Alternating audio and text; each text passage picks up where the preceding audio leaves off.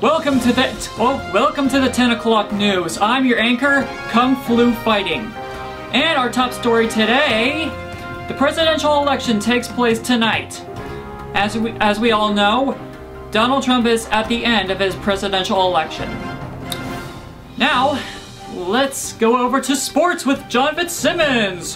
What do you have in store for us today? I miss Snell Basketball 101 to 0 and there's pro wrestling coming now. WrestleMania 36 is happening right now. And you sold DVDs plus USA and also volleyball, soccer, tennis, golf, NASCAR, and also my all-time favorites. It is bowling.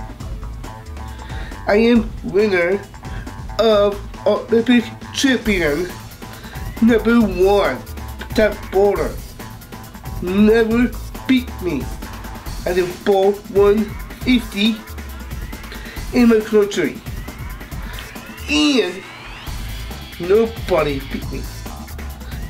I am Sensei Kato. Then back to you, Kung Fu. Well, thank you, John Simmons, John Fitzsimmons. So, uh, well, I think it's now time we uh, check over to see what's up and happening in the world with weather, with hazy skies. Hazy, what can you tell us in store? What's in store for us today? Hello, hazy skies here, large lady with some news with big weather. As you can see, it's raining cats and dogs, cats and dogs everywhere. It's not, it's the apocalypse, I think. Anyway, I wouldn't go outside today if I was you. Stay in, stay inside. That's my advice. Back to you, Kung Flu. Well, that is the 10 o'clock news for today.